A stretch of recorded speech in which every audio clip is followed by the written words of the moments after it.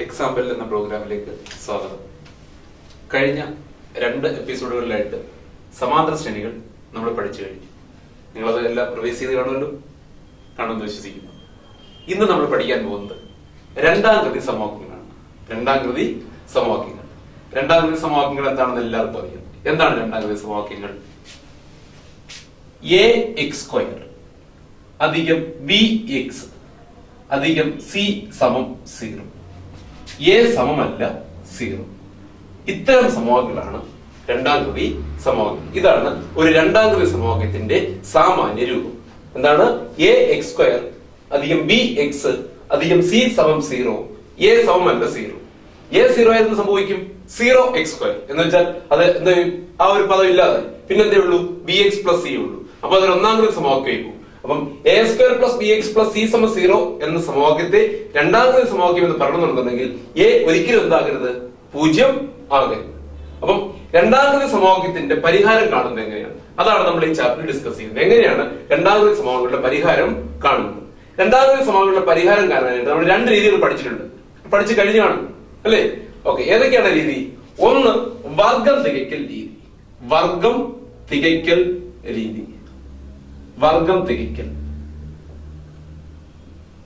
എങ്ങനെയാണ് വർഗം തികയ്ക്കുന്നത്? For example നമുക്ക് നോക്കാം. നമ്മുടെ ഒരു സമവാക്യം ഒരു രണ്ടാമത് ബഹുപദമുണ്ട് എക്സ് സ്ക്വയർ പ്ലസ് പത്ത് എക്സ് എക്സ് സ്ക്വയർ പ്ലസ് പത്ത് എക്സ് എന്ന ഈ ബഹുപദത്തെ ഒരു പൂർണവർഗമാക്കണമെങ്കിൽ നമ്മൾ എന്ത് ചെയ്താൽ മതി അറിയാമോ നമ്മൾ എക്സിന്റെ ഗുണകം നോക്കണം. എക്സിന്റെ ഗുണകം എത്രയാണ്? പത്ത്. അതിന്റെ പകുതി പത്തിന്റെ പകുതി എത്രയാണ്? അഞ്ച്. അതിന്റെ വർഗവും കൂട്ടിയച്ചാൽ മതി. നമുക്ക് നോക്കി നമ്മൾ എന്താ ചെയ്തത് എക്സിന്റെ ഗുണകം പത്ത് അതിന്റെ പകുതി പത്തേ ബൈ രണ്ടിന്റെ വർഗവും കൂട്ടി. അപ്പം എക്സ് സ്ക്വയർ അധികം പത്ത് എക്സ് അധികം പത്തേ ബൈ രണ്ട് എന്ന് പറഞ്ഞാൽ എത്രയാണ്? അഞ്ച് അഞ്ചിന്റെ വർഗം ഇത് നമുക്ക് യാതൊരു സംശയമില്ല എന്തുമായിരിക്കും? എക്സ് അധികം അഞ്ചിന്റെ വർഗമായിരിക്കും നോക്കി. അപ്പൊ നിങ്ങൾ ചാർട്ടിലോട്ട് നോക്കി. എന്തുകൊണ്ട് നമ്മൾ ഇവിടെ ചെയ്തത്? X square plus A X എന്ന ബഹുപദത്തെ പൂർണവർഗമാക്കാൻ എക്സ് സ്ക്വയർ പ്ലസ് എ എക്സിനോട് എക്സിന്റെ ഗുണകമായ എയുടെ പകുതിയുടെ വർഗം അതായത് A by two the whole square കൂട്ടിയാൽ മതി. അപ്പൊ X square plus A X plus A by two the whole square എപ്പോഴും എന്തായിരിക്കും? X plus A by two the whole square ആയിരിക്കും. ഇതാണ് വർഗം തികയ്ക്കൽ രീതി. അപ്പം ഈ രീതിയിൽ നമ്മൾക്ക് എന്ത് ചെയ്യാം? ഒരു രണ്ടാമത്തെ സമവാക്യത്തിന്റെ പരിഹാരം കണ്ടെത്താനായിട്ട് കഴിയും. അപ്പം ഇത് മനസ്സിലായല്ലോ എക്സ് സ്ക്വയർ അറിയാം പത്ത് എക്സ് അറിയാം. വേറൊരു എക്സാമ്പിൾ നോക്കാം. X square minus R X ഇവിടെ വർഗം പൂർത്തീകരിക്കണം. അപ്പൊ നമ്മൾ എന്ത് ചെയ്യും? എക്സിന്റെ ഗുണവും ആരാണ്? മൈനസ് സിക്സ് അതിന്റെ പകുതി മൈനസ് മൂന്ന്. അപ്പൊ ആരുടെ വർഗം കൂട്ടണം? മൈനസ് മൂന്നിന്റെ വർഗം കൂട്ടണം. മൈനസ് മൂന്നിന്റെ വർഗം നമുക്കറിയാം. X square minus R X അധികം ഒമ്പത്. മൈനസ് മൂന്നിന്റെ വർഗം ഒമ്പത്. അപ്പം ഇത് തീർച്ചയായിട്ടും നോക്കി എക്സിന്റെ കൂടെ ന്യൂനസംഖ്യ ആയതുകൊണ്ട് എക്സ് മൈനസ് ആരുടെ വർഗം മൂന്നിന്റെ വർഗം എക്സ് മൈനസ് മൂന്ന് ദ ഹോൾ സ്ക്വയർ ഇതാണ് വർഗം പൂർത്തിയാക്കൽ രീതി. ഇനി നമ്മൾ ഒരു സൂത്രവാക്യം കൂടെ പഠിച്ചിട്ടുണ്ട്. രണ്ടാമത്തെ സമവാക്യത്തിന്റെ പരിഹാരം കാണാനായിട്ട് സൂത്രവാക്യം പഠിച്ചിട്ടുണ്ട്. എന്താണ് സൂത്രവാക്യം? നമുക്ക് നോക്കാം. A X square plus B X plus C സമം സീറോ എ സമം അല്ല സീറോ എന്ന സമവാക്യത്തിന്റെ പരിഹാരം കണ്ടുപിടിക്കാനുള്ള സൂത്രവാക്യം നമ്മൾ പഠിച്ചു വെച്ചിട്ടുണ്ട്. എക്സ് സമം minus B plus or minus root of B square minus four A C by two okay അതായത് ഏത് സമവാക്യം കിട്ടിയാലും ഈ ഒരു സൂത്രവാക്യം ഉപയോഗിച്ച് നമ്മൾക്ക് ഇതിന്റെ പരിഹാരം എക്സിന്റെ വില കണ്ടെത്താൻ കഴിയും. അതാണ് A square plus B X plus C സമം സീറോ എന്ന സമവാക്യത്തിൽ എക്സ് സമം minus B plus or minus root of B square minus four A C by two ഇത് രണ്ട് പരിഹാരമാണ്. ഒന്ന് minus B plus root B square minus four A C by two A രണ്ടാമത്തത് minus B minus root B square minus four A C by two A മനസ്സിലായല്ലോ? ഇനി ഈ B square minus four A C കണ്ടോ ഇതിനകത്തൊരു B square minus four A C ഈ B square minus four A സിയെ നമ്മൾ ഈ A square plus B X plus C സമം സീറോ എന്ന സമവാക്യത്തിന്റെ വിവേചകം എന്നാണ് വിളിക്കുന്നത്. എന്താ വിളിക്കുന്നത്? വിവേചകം. വിവേചകം. ഡിസ്ക്രിമിനന്റ് എന്ന് പറയും. വിവേചകം. വിവേചകമാണ് B square minus four A C വിവേചകം എന്ന് പറയുന്നത് വിവേചിച്ചറിയുന്നതാണ്. അപ്പം ഈ വിവേചനത്തിന് വല്ലാത്ത പ്രാധാന്യമുണ്ട്. നമ്മുടെ സമവാക്യം നിർത്താനം ചെയ്യുന്നത് നമ്മൾ സൂത്രവാക്യം ഉപയോഗിച്ചാണ് ചെയ്യുന്നതെങ്കിൽ ആദ്യം കണ്ടുപിടിക്കുന്നത് വിവേചകമായിരിക്കും. അതായിരിക്കും നമുക്ക് എളുപ്പം. കാരണം വിവേചനം കണ്ടുപിടിച്ച് കഴിഞ്ഞാൽ പിന്നെ അവരെ കൂട്ടം കൊടുത്താൽ മതി. അപ്പൊ ഏത് സമവാക്യം രണ്ടാമത്തെ സമവാക്യം നിർദ്ധാരണം ചെയ്യാൻ കിട്ടിയാലും നമ്മൾ ഈ സൂത്രവാക്യം വെച്ച് ചെയ്യാൻ തീരുമാനിച്ചു കഴിഞ്ഞാൽ ആദ്യം എന്ത് കണ്ടുപിടിക്കുക? വിവേചനം കണ്ടുപിടിക്കുക. അപ്പം B square minus four A C എന്ന സംഖ്യയെ A square plus B X plus C സമ സീറോ എന്ന സമവാക്യത്തിന് എന്ത് പറയുന്നു? വിവേചകം എന്ന് പറയുന്നു. ഇനി നിങ്ങൾ ആ ചാർട്ട് ഒന്ന് സൂക്ഷിച്ച് നോക്കി വായിച്ചു നോക്കിയ ചാർട്ട് നമ്മൾ എന്തോ പറഞ്ഞത്? A X square plus B X plus C സമം സീറോ എന്ന സമവാക്യത്തിന്റെ വിവേചകത്തെ വിവേചകം എന്ന് പറയുന്നത് എന്താണ്? വിവേചകം B square minus four A C B square minus four A C അപ്പം ഒരു സമവാക്യം നിർദ്ധാരണം ചെയ്യുന്നു രണ്ടാമത്തെ സമവാക്യം നമ്മൾ അതിന്റെ എക്സിന്റെ വില കണ്ടു അതിന്റെ പ്രശ്നത്തിന്റെ പരിഹാരം കണ്ടുപിടിക്കാൻ പോകുമ്പോൾ നമ്മൾ ആദ്യം എന്ത് കണ്ടുപിടിക്കുന്നു? വിവേചനം കണ്ടുപിടിക്കുന്നു. ഇതിനെ വിവേചനം എന്ന് വിളിക്കാൻ കാരണം ഈ പ്രശ്നത്തിന്റെ ഈ പ്രശ്ന പരിഹാരത്തിന്റെ സ്വഭാവം ആരിലൂടെ നമുക്ക് മനസ്സിലാക്കാൻ പറ്റും?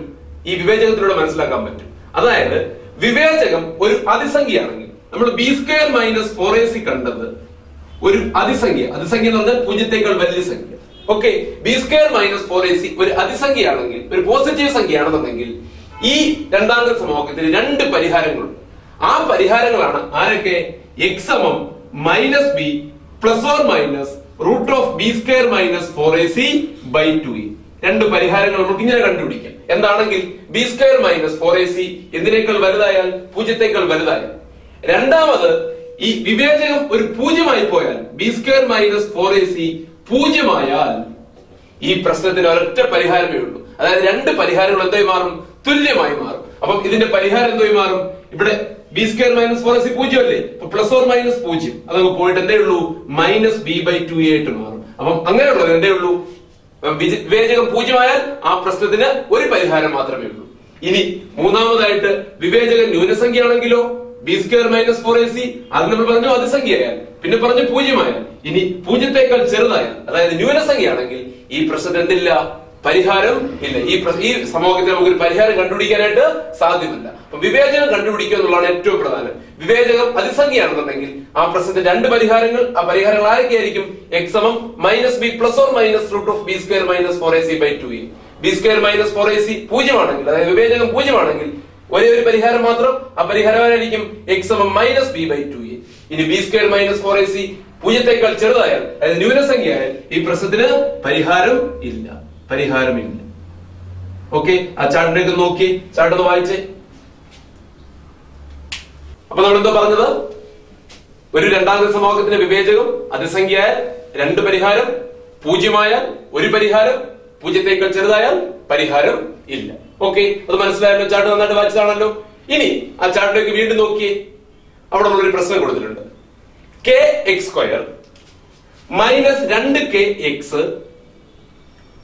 അധികം ആറ് സമം പൂജ്യം എന്ന രണ്ടാം കൃതി സമവാക്യത്തിന് ഒരു പരിഹാരമേ ഉള്ളൂ എങ്കിൽ കെയുടെ വില എത്ര? സമവാക്യത്തിന്റെ പരിഹാരം എന്ത്? അപ്പം കെ എക്സ് സ്ക്വയർ മൈനസ് രണ്ട് കെ എക്സ് അധികം ആറ് സമം പൂജ്യം എന്ന രണ്ടാം കൃതി സമവാക്യത്തിന് ഒരു പരിഹാരമേ ഉള്ളൂ.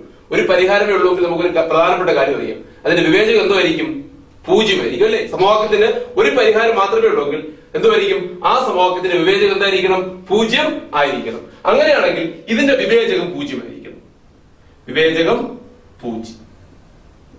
എന്ന് പറഞ്ഞാൽ ആര് പൂജ്യം? B square minus four A C എന്തായിരിക്കണം? പൂജ്യമായിരിക്കണം. അപ്പൊ നമുക്ക് നോക്കി ഈ സമവാക്യം നോക്കി. ഇതിന്റെ എയും ബിയും സിയും പറഞ്ഞ് എ സമം കെ ബി സമം മൈനസ് രണ്ട് കെ സി സമം ആറ്. അപ്പൊ എയും ബിയും സിയും എഴുതി. ബി സ്ക്വയർ മൈനസ് ഫോർ എസ് സീറോ ആണ്. നമുക്ക് ആ വിലകൾ കൊടുത്തു നോക്കാം. മൈനസ് രണ്ട് കെയുടെ വർഗം മൈനസ് നാല് ഗുണം എക്ക് വരെ കെ സിക്ക് വരെ ആറ് സമം പൂജ്യം. അപ്പൊ നാല് കെ സ്ക്വയർ മൈനസ് ഇരുപത്തിനാല് കെ സമം പൂജ്യം. ഇവിടെ നമുക്ക് എന്ത് പൊതുവായിട്ട് എടുക്കാം? നാല് കെ പൊതുവായിട്ട് എടുക്കാം. നാല് കെ എടുത്തു കഴിഞ്ഞാൽ ഇവിടെ പിന്നെ എന്തുകൊണ്ട് കെ. എത്ര നാലാണ് ഇരുപത്തിനാല്? ആറ്. കെ മൈനസ് ആറ്. നാലൊരിക്കലും പൂജ്യം ആവില്ലല്ലോ. അപ്പൊ ആരാണ് പൂജ്യം? കെ ഇന്റു കെ മൈനസ് ആറ് സമം പൂജ്യം. അപ്പം K into K A into B zero ആണെങ്കിൽ ഒന്നുകിൽ എ ഇസിക്കൽ സീറോ. അല്ലെങ്കിൽ കെ മൈനസ് ആർ ഐ സമം പൂജ്യം എന്ന് പറഞ്ഞാൽ കെ ഇസിക്കൽ ടു സിക്സ് അപ്പൊ കെയുടെ വില എന്ത് കിട്ടി? കെയുടെ വില പൂജ്യമോ ആറെന്നോ കിട്ടി. അപ്പം ഇതിന്റെ ഈ പ്രശ്നത്തിന് ഒരു ഈ കെ സ്ക്വയർ മൈനസ് രണ്ട് എക്സ് രണ്ട് K X plus R I സമം സീറോ എന്ന സമവാക്യത്തിന് സമവാക്യത്തിന്റെ പ്രശ്നത്തിന് ഒരു പരിഹാരമേ ഉള്ളൂ എങ്കിൽ അവിടെ കെയുടെ വില എന്തുമായിരിക്കും പൂജ്യമോ ആറോ ആയിരിക്കും. അപ്പൊ ഈ രണ്ട് വിലയെ നമുക്ക് പരിഗണിക്കാൻ പറ്റുമോ? നമുക്ക് നോക്കാം. കെ പൂജ്യമായാൽ ഒരു പ്രശ്നമുണ്ട്. എന്താണ് പ്രശ്നം? കെ പൂജ്യമായാൽ പൂജ്യം എക്സ് സ്ക്വയർ എക്സ് സ്ക്വയറിന്റെ ഗുണകമാണ് പൂജ്യം. കെ അപ്പം പൂജ്യം എക്സ് സ്ക്വയർ എന്ന് പറഞ്ഞാൽ ഇതെന്തോയി മാറി? ഒന്നാം ഗതി സമവാക്യമായിട്ട് മാറും. രണ്ടാം ഗതി എന്തോയിട്ട് മാറും? ഒരു സ്ഥിരപദമായി പോകും. അപ്പൊ ഒരിക്കലും എന്തോ പറ്റില്ല? കെക്ക് പൂജ്യമായിട്ട് നമുക്ക് എടുക്കാനായിട്ട് പറ്റില്ല. പറഞ്ഞു മനസ്സിലായോ? അതായത് കെയുടെ വില പൂജ്യമായാൽ ഇത് പിന്നെ എന്തുവാണ്? പൂജ്യം എക്സ് സ്ക്വയർ മൈനസ് പൂജ്യം എക്സ് പ്ലസ് ആണ് അപ്പൊ എന്തുമായി ഒരു സ്ഥിരപദമായി പോയി. അപ്പൊ അത് രണ്ടാമത്തെ ബഹുപതമാണോ സോറി രണ്ടാമത്തെ സമവാക്യമാണോ? അല്ല. അപ്പൊ കെയുടെ വില എത്രയായിരിക്കും? കേയുടെ വില സിക്സ് കെ സമം പൂജ്യം സാധ്യമല്ല. നമുക്ക് മനസ്സിലായല്ലോ കാരണം A square plus B X plus C സമം സീറോ എന്ന സമവാക്യത്തിൽ അത് രണ്ടാമത്തെ സമവാക്യമാണെങ്കിൽ ഒന്നാമത്തെ ഏറ്റവും പ്രധാനപ്പെട്ട കണ്ടീഷൻ എന്താണ്? എ അല്ല പൂജ്യമാണ്. അപ്പൊ കെയ്ക്ക് ഒരിക്കലും എന്തോ പറ്റില്ല? പൂജ്യവും പറ്റില്ല. അപ്പൊ കെയുടെ വില എത്രയാണ്? സീറോ ആറാണ് ഇനി ഇതിന്റെ പരിഹാരം കണ്ടുപിടിക്കണം. പരിഹാരം കണ്ടുപിടിക്കാനായിട്ട് സമവാക്യത്തിലോട്ട് കെയ്ക്ക് വരുന്ന കൊടുത്തു? ആറ് കൊടുത്തു. അപ്പൊ ആറ് എക്സ് സ്ക്വയർ മൈനസ് രണ്ടേ ഗുണം ആറേ ഗുണം എക്സ് രണ്ടാറ് പന്ത്രണ്ട് എക്സ് അധികം ആറ് സമം പൂജ്യം. ആറ് നമുക്ക് പൊതുവായിട്ട് എടുക്കാം. ആറ് ഗുണം എക്സ് സ്ക്വയർ മൈനസ് രണ്ട് എക്സ് അധികം ഒന്ന് സമം പൂജ്യം. ഓക്കെ ആറ് പൂജ്യം അല്ലല്ലോ. പിന്നെ ആരാണ് പൂജ്യം? എക്സ് സ്ക്വയർ മൈനസ് രണ്ട് എക്സ് അധികം ഒന്നേ സമം പൂജ്യം. ഇത് നമുക്ക് ഏറ്റവും പ്രധാനം അറിയാവുന്ന ഒരു എക്സ്പ്രഷൻ ആണ്. എന്താണ് എക്സ് സ്ക്വയർ മൈനസ് രണ്ട് എക്സ് അധികം ഒന്ന് എന്ന് പറയുന്നത്? ഒരു പൂർണ വർഗമാണ് ആരുടെ വർഗമാണ് എന്നാലോചിച്ച് നോക്കി എക്സ് മൈനസ് ഒന്നിന്റെ വർഗമാണ് അല്ലേ? നമുക്കറിയാം. എക്സ് സ്ക്വയർ മൈനസ് രണ്ട് എക്സ് പ്ലസ് ഒന്ന് കണ്ട ഉടനെ നമുക്കറിയാം. എക്സ് മൈനസ് ഒന്നിന്റെ വർഗമാണ് അപ്പൊ എക്സ് മൈനസ് ഒന്നിന്റെ സ്ക്വയർ പൂജ്യമാണ്. അപ്പൊ എക്സ് എത്രയാണ്? ഒന്നാണ്. അപ്പൊ ഈ പ്രശ്നത്തിന്റെ പരിഹാരം എന്തുവാണ്? ഒന്നാണ്. മനസ്സിലായല്ലോ? ഇനി നമുക്ക് ഇതുമായിട്ട് ബന്ധപ്പെട്ട് ഒന്ന് രണ്ട് ക്വസ്റ്റ്യൻസ് ചെയ്ത് നോക്കാം. ചാർട്ട് പേപ്പറിലോട് നോക്കി. ഒന്നാമത്തെ ക്വസ്റ്റ്യൻ എന്താണ് കൊടുത്തിരിക്കുന്നത്? ചതുരാകൃതിയിലുള്ള ഒരു കടലാസിന്റെ നാല് മൂലകളിൽ നിന്നും സർവസമങ്ങളായ ഓരോ സമയത്തിനെ മുറിച്ചു മാറ്റി മടക്കി ഒരു പെട്ടി ഉണ്ടാക്കുന്നു. ഈ പെട്ടിയുടെ വ്യാപ്തം രണ്ടായിരത്തി നാനൂറ്റി തൊണ്ണൂറ്റി ഒൻപത് സെന്റിമീറ്റർ ക്യൂബും നീളം ഇരുപത്തൊന്ന് സെന്റിമീറ്ററുമാണ് കൂടാതെ പെട്ടിയുടെ വീതി ഉയരത്തേക്കാൾ പത്ത് സെന്റിമീറ്റർ കുറവുമാണ്. പെട്ടിയുടെ ഉയരം എക്സ് എന്നെടുത്താൽ വീതി എന്തായിരിക്കും? പെട്ടിയുടെ ഉയരവും വീതിയും കാണുക. ആദ്യത്തെ ചതുരാകൃതിയുള്ള കടലാസിന്റെ നീളവും വീതിയും കണക്കാക്കുക. നമ്മൾ എന്തോ പറഞ്ഞേക്കുന്നേ? നമ്മുടെ ചതുരാകൃതിയുടെ കടലാസ് ആണ്. ഒരു കടലാസ്. ഇതിന്റെ നാല് മൂലയിൽ നിന്ന് ഞാൻ എന്ത് ചെയ്യാൻ പോവാണ്? ഒരു കടലാസ്. നാല് മൂലയിൽ നിന്നും ഒരു സമയത്തിനെ മുറിച്ചു മാറ്റുകയാണ് സർവസമങ്ങളെ ഒരുപോലുള്ള നാല് സമയം ഇവിടെ നിന്ന് മുറിച്ചു മാറ്റുന്നു. ഒരു സമയത്തിനെ മുറിച്ചു മാറ്റി. വീണ്ടും ഈ മൂലയിൽ നിന്നും അടുത്ത സമയത്തിനെ മുറിച്ചു മാറ്റി. അടുത്ത മൂലയിൽ നിന്നും മൂന്നാമത്തെ മൂലയിൽ നിന്നും അടുത്ത സമയത്തിനെ മുറിച്ചു മാറ്റി.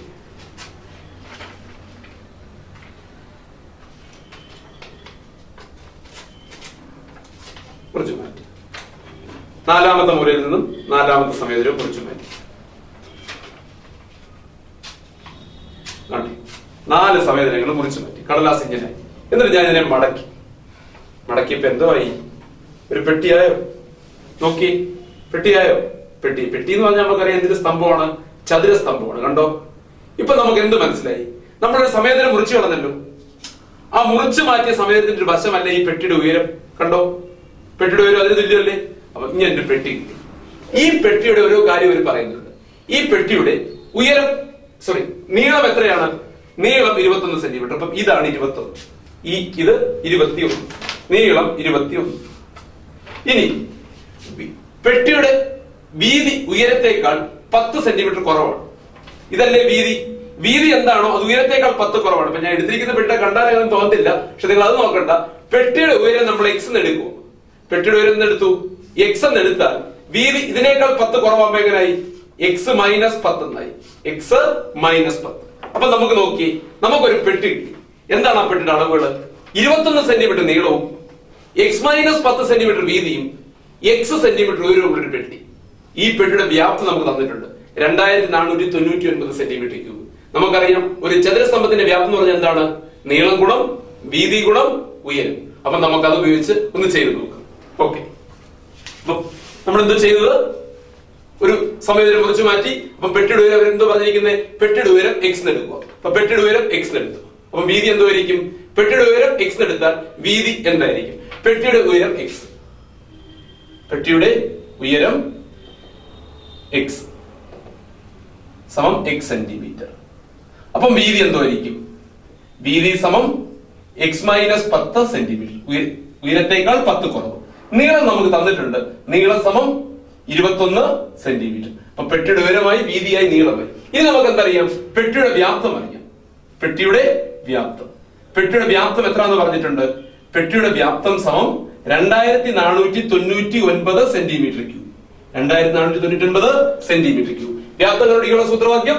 നീളം ഗുണം വീതി ഗുണം ഉയരം. സമം രണ്ടായിരത്തി നാനൂറ്റി തൊണ്ണൂറ്റി ഒമ്പത് നീളത്തെ നമുക്ക് തന്നിട്ടുണ്ട് ഇരുപത്തി വീതി നമ്മൾ പറഞ്ഞു എക്സ് മൈനസ് പത്ത്. ഉയരം നമുക്കറിയാം എക്സ് അപ്പൊ എത്രയാണ്? രണ്ടായിരത്തി നാനൂറ്റി തൊണ്ണൂറ്റി ഒമ്പത് അപ്പൊ എക്സ് ഗുണം എക്സ് മൈനസ് പത്ത്. സമയം എന്തായിരിക്കും ഈ ഇരുപത്തിനെ നമുക്ക് കൊണ്ടൊന്ന് ഭാഗിക്കാം. രണ്ടായിരത്തി നാനൂറ്റി തൊണ്ണൂറ്റി ഒൻപതിനെ എന്തുകൊണ്ട് ഭാഗിക്കുക? ഇരുപത്തി ഒന്നുകൊണ്ട് ഭാഗിക്കുക. അപ്പം എക്സ് ഗുണം എക്സ് എക്സ് സ്ക്വയർ എക്സ് ഗുണം മൈനസ് പത്ത് മൈനസ് പത്ത് എക്സ് ഒരു ഇരുപത്തി ഒന്ന് ഇരുപത്തി ഒന്ന് സിസ്റ്റം മൂന്ന് മുപ്പത്തി ഒമ്പത് വീണ്ടും ഒരു പ്രാവശ്യം. അപ്പം എത്ര വരും? ഒമ്പത്. നൂറ്റി പത്ത് ഒൻപത് വരും. എക്സ് സ്ക്വയർ മൈനസ് പത്ത് എക്സ് സമം നൂറ്റി പത്തൊൻപത് ശരിയാണല്ലോ? ഇപ്പൊ നോക്കി ഈ ഇടതുവശം നോക്കി ഒരു X square plus A X എന്ന് പറയുന്ന ബഹുപദമല്ലേ? എക്സ് സ്ക്വയർ മൈനസ് പത്ത് എക്സ് ഇതിനെ പൂർണവർഗമൊക്കെ എന്ത് ചെയ്ത് വെച്ചാൽ മതി? എക്സിന്റെ ഗുണകത്തിന്റെ പകുതിയുടെ വർഗം കൊണ്ട് കൂട്ടിയാൽ മതി. അപ്പൊ ഇതിനെ പൂർണവർഗമാക്കാൻ വേണ്ടിട്ട് നമ്മൾ എക്സ് സ്ക്വയർ മൈനസ് പത്ത് എക്സ് അപ്പൊ എക്സിന്റെ ഗുണകം മൈനസ് പത്ത്.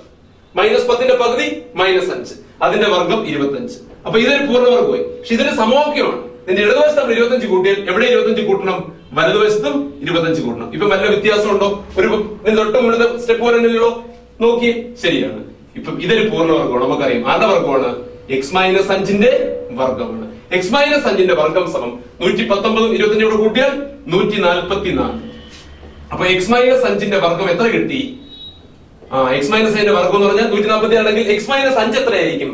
എക്സ് മൈനസ് അഞ്ച് സമം പറഞ്ഞേ എക്സ് മൈനസ് അഞ്ചിന്റെ വർഗം എന്തിന്റെ വർഗമാണ് നൂറ്റി നാല് ആ പന്ത്രണ്ടിന്റെ വർഗം നൂറ്റി നാല്പത്തിനാലാണ് മൈനസ് പന്ത്രണ്ടിന്റെ വർഗം നൂറ്റി നാൽപ്പത്തി ആറാണ് അപ്പൊ നമുക്ക് മനസ്സിലായി എക്സ് മൈനസ് അഞ്ച് സമം പ്ലസ് അല്ലെങ്കിൽ മൈനസ് പന്ത്രണ്ട്. അങ്ങനെയാണെങ്കിൽ എക്സ് സമം ഈ മൈനസ് അഞ്ച് അപ്പുറത്ത് പോയാൽ അഞ്ച് പ്ലസ് ഓർ മൈനസ് പന്ത്രണ്ട്. അപ്പം എക്സ് എന്ന് പറഞ്ഞാൽ ഒന്നുകിൽ അഞ്ച് അധികം പന്ത്രണ്ട് ആയിരിക്കും. അതായത് പതിനേഴ് ആയിരിക്കും. അല്ലെങ്കിൽ എക്സ് എന്ന് പറഞ്ഞാൽ അഞ്ച് മൈനസ് പന്ത്രണ്ട് ആയിരിക്കും. അതായത് മൈനസ് ഏഴ് ആയിരിക്കും. പക്ഷെ നമ്മൾ കണ്ടുപിടിക്കേണ്ട എന്തുവാണ്? എക്സ് എന്ന് പറഞ്ഞാൽ എന്താണ്? നമ്മുടെ പെട്ടിയുടെ ഉയരമാണ്. ഉയരം ഒരിക്കലും ഒന്നും ആവില്ല. ന്യൂനസംഖ്യ ആകില്ല. അപ്പൊ നമുക്ക് എക്സ് എത്ര കിട്ടി? എക്സ് സമം പതിനേഴ്. അപ്പൊ പെട്ടിയുടെ ഉയരം? പെട്ടിയുടെ ഉയരം പതിനേഴ് സെന്റിമീറ്റർ. അപ്പം വീതി എത്രയായിരിക്കും? വീതി. ഉയരത്തേക്കാൾ എത്ര കുറവാണ്? പത്ത് കുറവാണ്. അപ്പൊ പതിനേഴിന് പത്ത് പോയാൽ ഏഴ് സെന്റിമീറ്റർ. അപ്പൊ ഉയരവുമായി വീതിയുമായി. ഇനി നമ്മളൊരു ക്വസ്റ്റ്യൻ ചോദിച്ചിട്ടുണ്ട്. എന്താണ്? ആദ്യത്തെ ചതുരാകൃതിയിലുള്ള കടലാസിന്റെ നീളവും വീതിയും കണക്കാക്കുക. ഇതല്ലേ ആദ്യത്തെ ചതുരാകൃതിയിലെ കടലാസിന്റെ നീളം? അപ്പൊ നമ്മൾ ഇവിടുന്ന് എന്തോ മുറിച്ച് കളഞ്ഞത്? എക്സ് ആണ് മുറിച്ച് കളഞ്ഞത്. എക്സ് നീളമാണ് മുറിച്ച് കളഞ്ഞത്. ഇവിടുന്ന് എക്സ് നീളമാണ് മുറിച്ച് കളഞ്ഞത്. അപ്പം എക്സ് നീളം മുറിച്ച് കഴിഞ്ഞപ്പോഴാണ് ഇങ്ങനെ വന്നത്. അപ്പം ഈ നീളത്തിനോട് എന്ത് കൂട്ടിയാൽ മതി. ഈ എക്സും ഈ എക്സും കൂട്ടിയാൽ മതി. അപ്പൊ എത്ര എക്സ് കൂട്ടണം? രണ്ട് എക്സ് കൂട്ടണം. അപ്പൊ ഇരുപത്തൊന്ന് എക്സ് നമുക്ക് കിട്ടി പതിനേഴ്. പതിനേഴ്. മുപ്പത് പതിനേഴ് അധികം ഇരുപത്തൊന്ന് അധികം പതിനേഴ്. അപ്പൊ കടലാസിന്റെ നീളം. കടലാസിന്റെ നീളം സമം പതിനേഴ് അധികം ഇരുപത്തൊന്ന് അധികം പതിനേഴ്. എത്ര കിട്ടി? അൻപത്തി അഞ്ച് സെന്റിമീറ്റർ. ഇതുപോലെ കടലാസിന്റെ വീതിയോ? ഇതല്ലേ കടലാസിന്റെ വീതി? ഇതല്ലേ വീതി? നമ്മൾ എന്തോ കുറിച്ച് കളഞ്ഞു ഇവിടുന്ന് എക്സ് കുറിച്ച് കളഞ്ഞായിരുന്നു ഇവിടുന്ന് എക്സ് കുറിച്ച് കളഞ്ഞായിരുന്നു അപ്പൊ ഈ രണ്ട് എക്സ് കൂട്ടണം. വീതി എത്രയാണെന്ന് നമുക്കറിയാം? വീതി ഏഴ്. ഏഴ് അധികം ഈ കിട്ടിയ എത്ര വീതമാണ്? പതിനേഴ്. അപ്പൊ പതിനേഴ് അധികം ഏഴ് അധികം പതിനേഴ്. എത്ര കിട്ടി? നാൽപ്പത്തി ഒന്ന് സെന്റിമീറ്റർ. അപ്പൊ നമ്മളുടെ കടലാസിന്റെ നീളം അൻപത്തഞ്ച് സെന്റിമീറ്റർ. വീതി നാൽപ്പത്തി ഒന്ന് സെന്റിമീറ്റർ. വളരെ നല്ലൊരു ക്വസ്റ്റ്യൻ ആണ്. ഈ വർഷം പരീക്ഷയ്ക്ക് ചോദിക്കാൻ സാധ്യതയുള്ള ഒരു ക്വസ്റ്റ്യൻ ഓക്കെ ആദ്യത്തെ ക്വസ്റ്റ്യൻ മനസ്സിലായല്ലോ? ഇനി വീണ്ടും ചാട്ടിലിട്ട് നോക്കി. രണ്ടാമത്തെ ക്വസ്റ്റ്യൻ എന്താണ് എഴുതിയിരിക്കുന്നത്? രണ്ട് സമാന്തര ശ്രേണികളുടെ സമാന്തര ശ്രേണി നമ്മൾ പഠിച്ചു വിട്ടതാണ് അല്ലേ? ഓക്കെ വീണ്ടും സമാന്തര ശ്രേണി. രണ്ട് സമാന്തര ശ്രേണികളുടെ പൊതുവ്യത്യാസം തുല്യമാണ്. അവയുടെ ആദ്യ പദങ്ങൾ അഞ്ചും എട്ടുമാണ്. ഈ ശ്രേണികളുടെ പതിനൊന്നാം പദങ്ങൾ തമ്മിലുള്ള വ്യത്യാസമുണ്ട് പതിനൊന്നാമത്തെ പദങ്ങളുടെ ഗുണനഫലം രണ്ടായിരത്തി ഒരുന്നൂറ്റി അറുപത് എങ്കിൽ രണ്ട് ശ്രേണികളുടെയും പതിനൊന്നാം പദങ്ങൾ കാണും ഇപ്പൊ നമ്മൾ പഠിച്ചൊരു കാര്യമാണ് നമ്മളെ സമാന്തര ശ്രേണി പഠിച്ച് നിർത്തിയപ്പോൾ നമ്മൾ പറഞ്ഞൊരു കാര്യമുണ്ട്. രണ്ട് സമാന്തര ശ്രേണികളുടെ പൊതുവ്യത്യാസങ്ങൾ തുല്യമായാൽ അവരുടെ സമാന സ്ഥാനത്തുള്ള അതായത് ഒരേ പദങ്ങൾ ഇപ്പൊ അതിന്റെ ഇരുപത്തഞ്ചാം പദങ്ങൾ തമ്മിലുള്ള വ്യത്യാസം അല്ലെങ്കിൽ നൂറാം പദങ്ങൾ തമ്മിലുള്ള വ്യത്യാസം എപ്പോഴും ആർക്ക് തുല്യമായിരിക്കും എന്ന് പറഞ്ഞു. ഏത് പദങ്ങളുടെ വ്യത്യാസവും എന്തുമായിരിക്കും? തുല്യമായിരിക്കും എന്ന് പറഞ്ഞു. അതായത് രണ്ട് സമാന്തര ശ്രേണികളുടെ പൊതുവ്യത്യാസം തുല്യമായാൽ അവയുടെ ഏത് സമാന സ്ഥാനത്തുള്ള ഏത് രണ്ട് പദങ്ങളുടെയും വ്യത്യാസം എന്ത് തന്നെയായിരിക്കും? ആദ്യ പദങ്ങൾ തമ്മിലുള്ള വ്യത്യാസം തന്നെയായിരിക്കും. അപ്പൊ ഇവിടെ ഈ ശ്രേണിയുടെ പതിനൊന്നാം പദങ്ങൾ തമ്മിലുള്ള വ്യത്യാസം എന്തിനു തുല്യമായിരിക്കും? ആദ്യ പദങ്ങൾ ഏതൊക്കെയാണ്? അഞ്ചും എട്ടും. അതിന്റെ വ്യത്യാസം എത്രയാണ്? മൂന്ന്. അപ്പൊ പതിനൊന്നാം പദങ്ങൾ തമ്മിലുള്ള വ്യത്യാസം മൂന്ന്. നമുക്കറിയാവുന്ന കാര്യമാണ്. അപ്പൊ നമ്മൾ അങ്ങോട്ട് എഴുതി വെക്കണം. പതിനൊന്നാം പദങ്ങൾ തമ്മിലുള്ള വ്യത്യാസം സമം പതിനൊന്നാം പദങ്ങൾ തമ്മിലുള്ള വ്യത്യാസം. സമം എട്ട് മൈനസ് അഞ്ച്. ആദ്യ പദങ്ങൾ തമ്മിലുള്ള വ്യത്യാസം തന്നെയായിരിക്കും. വേണമെങ്കിൽ അങ്ങനെ എഴുതിക്കോളൂ. പതിനൊന്നാം പദങ്ങൾ തമ്മിലുള്ള വ്യത്യാസം സമം ആദ്യ പദങ്ങൾ തമ്മിലുള്ള വ്യത്യാസം. എട്ട് മൈനസ് അഞ്ച് മൂന്ന്. അപ്പൊ പതിനൊന്നാം പദങ്ങളുടെ വ്യത്യാസം നമുക്ക് കിട്ടി. എന്താണ്? മൂന്ന്. അതായത് ഒരു ശ്രേണിയുടെ പതിനൊന്നാം പദം എക്സ് ആണെങ്കിൽ മറ്റേ ശ്രേണിയുടെ പതിനൊന്നാം പദം എന്തായിരിക്കും എക്സ് അധികം മൂന്നായിരിക്കും അല്ലേ? എക്സ് അധികം മൂന്നായാലും കുഴപ്പമില്ല. എക്സ് ന്യൂ മൂന്നായാലും കുഴപ്പമില്ല. എങ്കിലും നമുക്ക് അധികം മൂന്നിനാലും ഇഷ്ടം? അപ്പൊ ആദ്യത്തെ ശ്രേണിയുടെ പതിനൊന്നാം പദം. ആദ്യത്തെ ശ്രേണിയുടെ പതിനൊന്നാം പദം.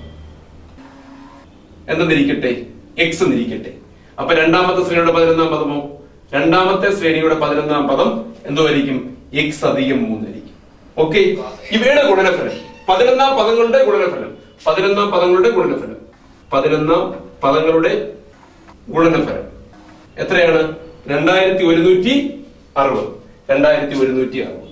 ഓക്കെ അപ്പം ഏതൊക്കെയാണ് പദങ്ങൾ?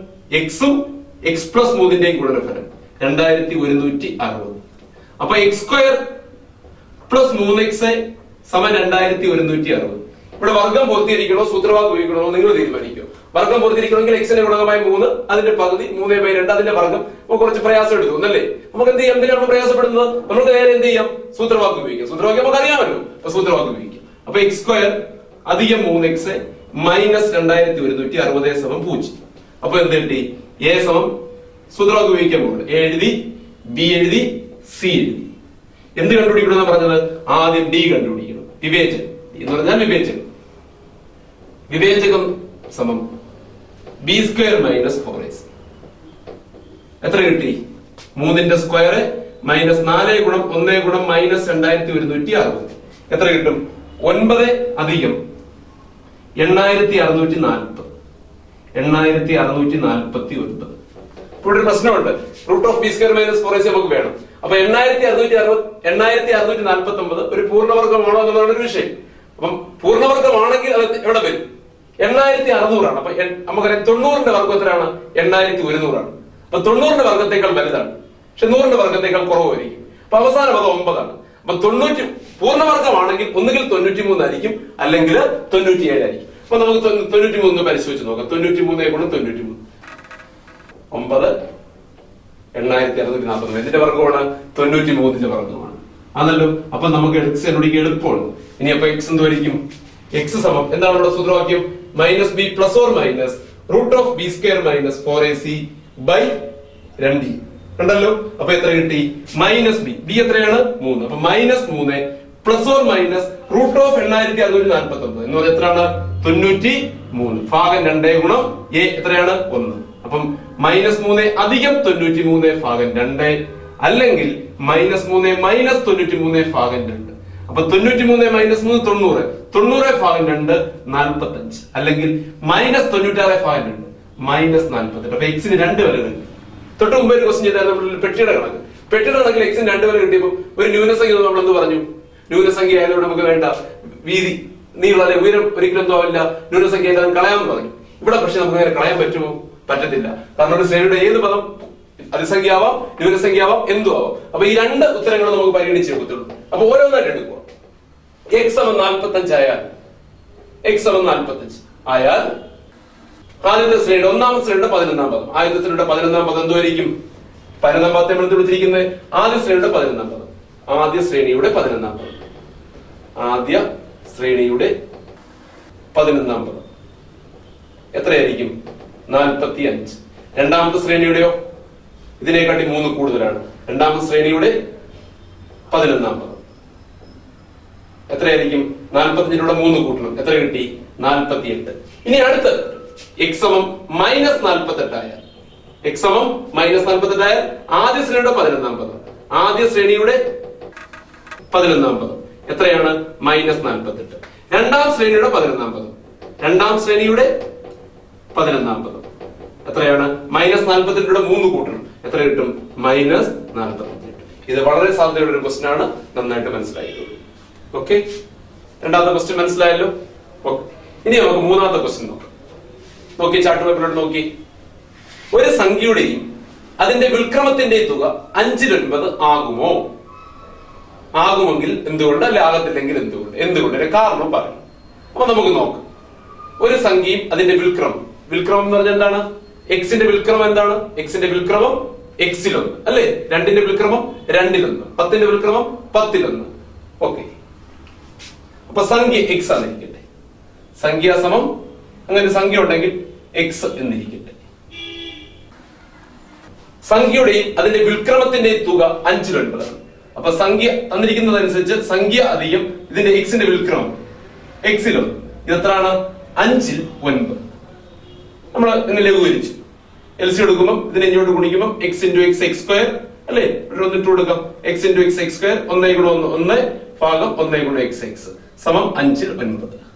മനസ്സിലാവുമല്ലോ ക്രോസ് മൾട്ടിപ്ലൈ അഞ്ചേ ഗുണം എക്സ് സ്ക്വയർ അധികം ഒന്നേ സമം ഒമ്പത് എക്സ് അപ്പം അഞ്ച് എക്സ് സ്ക്വയറെ അധികം അഞ്ച് സമം ഒമ്പത് എക്സ് ഒമ്പത് എക്സ് ഒളിഞ്ഞു വരട്ടെ. അഞ്ച് എക്സ് സ്ക്വയർ മൈനസ് ഒമ്പത് എക്സ് പ്ലസ് അഞ്ച് സമം സീറോ. ഒരു രണ്ടാമത്തെ സമവാക്യം. നിർധാരണം ചെയ്യാൻ നമുക്കറിയാം. എ ബി എക്സ് എഴുതുക വിവേചനം കണ്ടുപിടിക്കും എ സമം അഞ്ച് ബി സമം മൈനസ് ഒമ്പത് സി സമം അഞ്ച്. വിവേചകം B square minus four A C കണ്ടുപിടിച്ചു. സമം മൈനസ് ഒമ്പതിന്റെ വർഗം മൈനസ് നാല് ഗുണം എയും അഞ്ചാണ് സിയും അഞ്ചാണ് മൈനസ് ഒമ്പതിന്റെ വർഗം പ്ലസ് എൺപത്തൊന്ന്. മൈനസ് നാലഞ്ച് ഇരുപത് ഇരുപത്തഞ്ച് നൂറ്. എൺപത്തൊന്ന് മൈനസ് നൂറ്. മൈനസ് പത്തൊമ്പത്. പൂജ്യത്തേക്കാൾ ചെറിയൊരു സംഖ്യ. ന്യൂനസംഖ്യ വിവേചക ന്യൂനസംഖ്യത്തിന് ഈ പ്രശ്നത്തിന്റെ പരിഹാരം കണ്ടുപിടിക്കാൻ പറ്റുമോ? കണ്ടുപിടിക്കാൻ പറ്റത്തില്ല. അതിന്റെ അർത്ഥം എന്തുവാണ്? വിവേചക ന്യൂനസംഖ്യ ആയതുകൊണ്ട് ഈ പ്രശ്നത്തിന് പരിഹാരമില്ല. എന്ന് പറഞ്ഞാൽ ഒരു സംഖ്യയുടെയും അതിന്റെ വിൽക്രമത്തിന്റെയും തുക എന്താകില്ല? അഞ്ചിലൻപത് ആകില്ല. മനസ്സിലായോ? ഓക്കെ ഈ ക്വസ്റ്റ്യൻ നമുക്ക് അതായത് ക്വസ്റ്റ്യൻ കാണുമ്പോഴേ നമുക്ക് എന്ത് പറയാൻ പറ്റും? ഇതിന്റെ തുക വിൽ- അഞ്ചിലൻപത് ആകത്തെന്ന് പറയാൻ പറ്റും. കാരണം നമ്മൾ പുസ്തകത്തിൽ പഠിച്ചിട്ടുണ്ട്. ഒരു സംഖ്യയുടെയും അതിന്റെ വിൽക്രമത്തിന്റെ തുക ഏറ്റവും ചുരുങ്ങിയത് എന്തായിരിക്കും രണ്ടായിരിക്കും. രണ്ടോ അതിനേക്കാൾ വലിയ സംഖ്യ ആയിരിക്കണം ഇവിടെ അഞ്ചിലൻപത് എന്ന് പറയുന്നത് അഞ്ചിലൻപത് എന്ന് പറയുന്നത് രണ്ടിനേക്കാൾ ചെറിയൊരു സംഖ്യയാണ്. ഒരു സംഖ്യയുടെയും അതിന്റെ വിൽക്രമത്തിന്റെയും തുക ഒരിക്കലും രണ്ടിനേക്കാൾ ചെറിയ സംഖ്യ ആകില്ല ഇത് മറന്നുപോയി നമ്മൾ ഓർത്തിരിക്കണം. ഓക്കെ അപ്പൊ ഇവിടെ നമുക്ക് എന്ത് പറയാം? ഒരു സംഖ്യയുടെയും അതിന്റെ വിൽക്രമത്തിന്റെയും തുക അഞ്ചിലൻപത് ആകില്ല. രണ്ടാമത്തെ സമാഗം എന്ന് പറയുന്ന ചാപ്റ്ററുമായിട്ട് ബന്ധപ്പെട്ട് എല്ലാ കാര്യങ്ങളും നമ്മൾ പറഞ്ഞു. നിങ്ങൾ കൂടുതൽ ക്വസ്റ്റ്യൻസ് പ്രാക്ടീസ് ചെയ്യുക. പരമാവധി ക്വസ്റ്റ്യൻസ് ക്വസ്റ്റ്യൻസ് കണ്ടുപിടിച്ച് മുൻ ക്വസ്റ്റ്യൻസ് ഒക്കെ പ്രാക്ടീസ് ചെയ്ത് നോക്കുക. വളരെ എളുപ്പമായിരിക്കും എന്ന് മനസ്സിലാകുന്നു പ്രതീക്ഷിക്കുന്നു. ഓക്കെ നന്നായിട്ട് മനസ്സിലായല്ലോ? ഓക്കെ